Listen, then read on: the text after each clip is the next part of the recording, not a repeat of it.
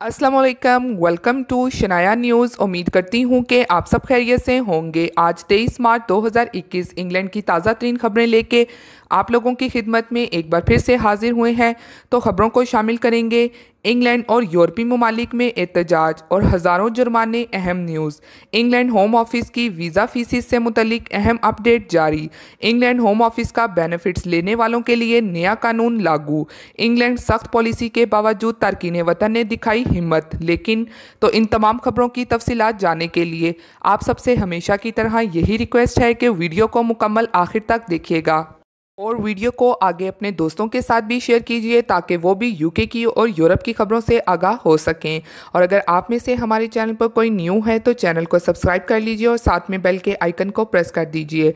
Video पसंद आती है तो लाइक लाजमी कीजिएगा। तो चलिए शुरू करते हैं आज की अहम तरीन खबरों का सिलसिला। आज की पहली खबर को शामिल कर लेते हैं। इंग्लैंड और यूरोपीय ममालिक में एहतजाज और हज़ारों जुर्माने अहम न्यूज़ सबसे पहले तो ये कि यूरोपीय यूनियन की सरबरा ने वैक्सीन खुराकों की फ्राहमी पर तखीर पर स्वीडिश वैक्सीन बनाने वाली कंपनी ऑस्ट्राजेनिका को एक मरतबा फिर तनकीद का निशाना बनाया है। साथ ही उन्होंने कहा है कि इस सूरत हाल में जब यूरोपीय ब्लॉक को वैक्सीन की कमी का सामना है, कोविड वैक्सीन गरीब ममालिक को अतिया नहीं किया जा सकती। उन्होंने कहा है कि जब तक यूरोप में वैक्सीन की पैदावार की शरह में बेहतरी नहीं आती से यूरोपीय ममालिक से बाहर एक्सपोर्ट नहीं किया जाएगा। बरतानिया ने इस बयान को शदीद तनकीद का निशाना बनाते हुए कहा है कि यूँ यूरोपीय यूनियन की साख खराब होगी। दूसरी जानब, यूरोपीय ममालिक में लॉकडाउन की खिलाफ वर्जी पर हज़ारों अफराद को जुर्माने किए गए हैं। इसी तरह आयरलैंड में भी लॉकडाउन खिलाफ वर्जी पर पंद्रह हज़ार तीन सौ से जायद अफराद को one point nine million euro से ज़्यादा का जुर्माना किया गया। इसी तरह बाकी यूरोपीय ममालिक को लॉकडाउन की खिलाफ वर्जी मास्क का इस्तेमाल ना करने पर 269 अफराद को फीकस 80 यूरो जुर्माना किया जा चुका है और यूरोपीय ममालिक में इस वक्त 700 से ज़्यादा जुर्मानों पर कार्रवाई की जा रही है। और इस जानब से यूरोपीय हुकाम का कहना है कि सबको यकजा होकर कोरोना की वबा से निमटना है और ये इसी तरह मुमकिन है कि हम हुकूमत की जानब से जारी हदायत पर अमल करें। के अलावा यूरोप में कोरोना की तीसरी लहर ने हुकूमतों के लिए परेशानी खड़ी कर दी है। तो दूसरी जानब एक साल से लॉकडाउन और पाबंदियों का सामना करने वाले यूरोपीय शहरी भी तंग आ गए हैं। ऐसे में हफ़्ते के आखिर यानी के वीकेंड पर कई यूरोपीय ममालिक में कोरोना पाबंदियों के खिलाफ मुजाहरे हुए हैं। कोरोना वायरस से यूरोप में 10 लाख से जायद अफराद हलाक हो चुके हैं और वबा की तीसरी लैन ने यूरोपीय ममालिक को लपेट में ले लिया है। गुजशत हफ़्ते के दौरान दुनिया में इन्फेक्शन की शरह में चौदह फ़ीसद इजाफा देखा गया है। दूसरी तरफ़ लॉकडाउन और पाबंदियों के बायस यूरोपीय अवाम में भी अकाहट बढ़ती जा रही है और माशी दबाव ने इनके लिए मज़ीद परेशानी बढ़ा दी है। ऐसे में वीकेंड पर जर्मनी, ऑस्ट्रिया स्वीडन, स्विट्ज़रलैंड और बरतानिया में भी पाबंदियों के खिलाफ मुजाहरे हुए हैं, जिनमें हज़ारों अफराद ने शिरकत की।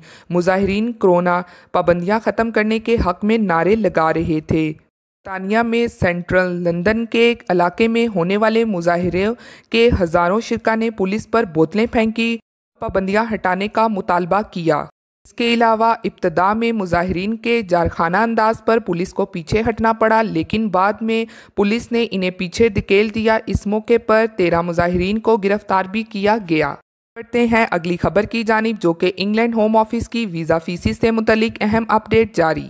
खबर की तफसीलात कुछ इस तरह से है कि यूके होम ऑफ़िस की जानब से अच्छी खबर ये दी गई है कि कोरोना वबा की वजह से इस साल वीज़ा फीसिस में किसी भी तरह का कोई भी इजाफा नहीं किया जाएगा। और मज़ीद जो भी लोग फ़ीस नहीं दे सकते हैं तो उन लोगों की सहूलत के लिए ये कहा गया है कि वो इससे मुतलिक फ़ीसिस एप्लीकेशन ज़रूर दें ताकि उनकी फ़ीस माफ़ की जा सके। मजीद ग्रेजुएशन इंटरपिनोर स्कीम के तहत ग्रेजुएशन मुकम्मल करने वाले अफराद को दो साल का वर्क वीज़ा दिया जाएगा और इसी हवाले से होम ऑफ़िस ने 6 अप्रैल से ये डिसाइड किया है कि फ़ीसिस में किसी भी किस्म की कोई भी तब्दीली नहीं की जाएगी और अगर देखा जाए तो पिछले दो सालों से फ़ीसिस में अभी तक तब्दीली नहीं की गई, लेकिन उन्होंने जो तब्दीली की है वो सिर्फ़ इमिग्रेशन हेल्थ सरचार्ज में चेंजिंग की गई है, जो कि अक्टूबर 2020 में तब्दील हुआ था। और ये इमिग्रेशन हेल्थ सरचार्ज एक साल का 624 पाउंड है, क्योंकि जब आप एप्लीकेशन करेंगे तो ये आपको साथ में देना होगा।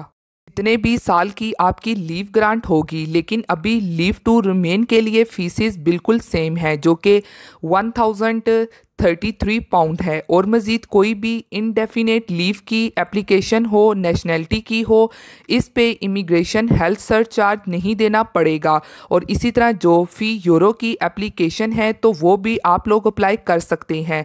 अगर आपके सरकमस्टेंस कुछ ख़ास नहीं है और अगर आप ये प्रूफ कर दें डॉक्यूमेंट्स के साथ तो फिर ऐसी सूरत में आपको ये फ़ी यूरो भी दिया जा सकता है। बढ़ते हैं। अगली खबर की जानिब, जो कि इंग्लैंड होम ऑफ़िस का बेनिफिट्स लेने वालों के लिए नया कानून लागू। के होम ऑफ़िस एक और नया कानून बनाने जा रहा है, जो कि बेनिफिट्स लेने वालों के हवाले से बनाने जा रहा है, और इसकी डिटेल कुछ इस तरह से है कि अगर कोई बेनिफिट्स के लिए अप्लाई करेगा तो अगर उसके बेनिफिट्स को रिजेक्ट कर दिया जाता है एक बार तो फिर ऐसी फैमिलीज़ के पास दोबारा से बेनिफिट्स के लिए अपील करने का हक नहीं दिया जाएगा। तो अब इस हवाले से बेनिफिट्स को लेकर ह्यूमन राइट ऑर्गेनाइजेशन लाजमी तौर पर इस सिलसिले में अदालत का रुख करेंगी। आइंदा दिनों में, क्योंकि एक इंतहाई बेमकसद कानून को बनाने जा रहा है होम ऑफ़िस एक बार बेनिफिट्स के लिए अप्लाई करने के बाद अगर रिजेक्ट हो जाता है तो फिर नेक्स्ट टाइम कोई भी फैमिली अप्लाई नहीं कर सकेंगे बेनिफिट्स के लिए, क्योंकि ऐसे लोग जो हांगकांग से आने वाले लोग हैं, उनके लिए भी यूके होम ऑफ़िस ने कहा था कि तमाम अफराद बेनिफिट्स लेने के अहल नहीं होंगे। सबसे पहले चेक किया जाएगा और जिनके केसेस ओरिजिनल हुए, उनको ही बेनिफिट दिए जाएँगे। तो अब इस नए कानून के हवाले से आइंदा दिनों में क्या होता है, जो भी अपडेट आएगी, वो आपके साथ लाजमी शेयर की जाएगी। अब बढ़ते हैं अगली खबर की जानब। इंग्लैंड सख्त पॉलिसी के बावजूद तारकिन वतन ने दिखाई हिम्मत, लेकिन एक यूरोपीय मुल्क से दूसरे मुल्क जाने की कोशिश करने वाले तारकिन मुश्किल सूरत हाल में फंस गए और इनकी जाने जाने का खतरा पैदा हो गया था। कश्तियाँ खराबी का शिकार होने के बाद डूबने लगी थी। ताहम यूरोपीय मुल्क के अदारे ने बर वक्त पहुँच कर इनकी जानें बचा ली। तफसीत के मुताबिक बरतानिया की जानब से सख्त इकदाम और डिपोटेशन के बावजूद यूरोपीय ममालिक में मुकीम तारकिन वतन अब भी वहाँ जाने की कोशिश में लगे रहते हैं। फ्रांस से कश्ती के ज़रिए इंग्लिश चैनल पार करके बरतानिया जाने की मजीद कोशिश होती है, जिनमें दो कश्तियों पर सवार 72 अफराद इंग्लिश चैनल में ही फंस गए। इनकी कश्तियाँ खराबी का शिकार होने के बाद डूबने लगी थीं, लेकिन फ्रांसीसी कोस्ट गार्ड की कश्ती की नज़र इन पर पड़ गई, जिस पर उन्होंने फौरी कार्रवाई करते हुए इन 72 तारकिन वतन को रेस्क्यू कर लिया और इन्हें वापिस कैलिस ले आए। फ्रांसीसी हकाम के मुताबिक ये वाक़ इतवार की सुबह पेश आया। एक कश्ती में 38 तारकिन सवार थे, जबकि दूसरी कश्ती में 34 थे। तमाम तारकिन वतन महफूज और इनकी सेहत भी अच्छी है। इन्हें बॉर्डर पुलिस के हवाले कर दिया गया है। वाजिया रहे कि गुजशत बरस इंग्लिश चैनल के ज़रिए बरतानिया जाने की कोशिश करने वाले तारकिन की तादाद में तेज़ी से इजाफा हुआ है और दो हज़ार बीस में साढ़े नौ हज़ार तारकिन ने पुलिस से कश्तियों के ज़रिए बरतानिया जाने की कोशिश की। तो ये थी आज की अहम तरीन अपडेट्स जो आप लोगों के साथ शेयर की गई हैं। उम्मीद करती हूँ कि आपको पसंद आई होगी। इसी के साथ मिलती हूँ फिर मैं आप सबसे किसी लेटेस्ट अपडेट में। तब तक आप सब अपना बहुत ख्याल रखिएगा। Thank you. खुदा हाफिज़।